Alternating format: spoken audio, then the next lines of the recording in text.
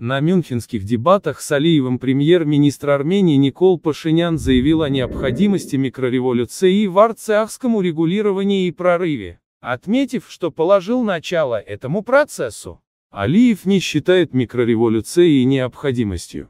Медиа-экспертное пространство Азербайджана воодушевленно цитирует армянских коллег, которые после Мюнхена анонсировали победу Алиева. После скандальных парламентских выборов для азербайджанского президента, по сути, очень важна была победа, и на помощь ему поспешили армянские эксперты. Стало ли это ответом на помощь Алиева, которую он оказал им в виде заявлений о политическом преследовании представителей прежней власти? После московского визита первого вице-президента Азербайджана Мехрибана Алиевой, который она совершила до распуска парламента и объявления досрочных выборов, и в ходе которого удостоилась аудиенции Путина, межклановая борьба в Азербайджане вступила в решающую фазу.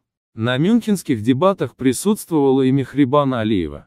И хотя камеры фиксировали в зале в основном ухмыляющегося Мамедьярова, Холодный профиль Алиевой тоже сложно было скрыть из кадра.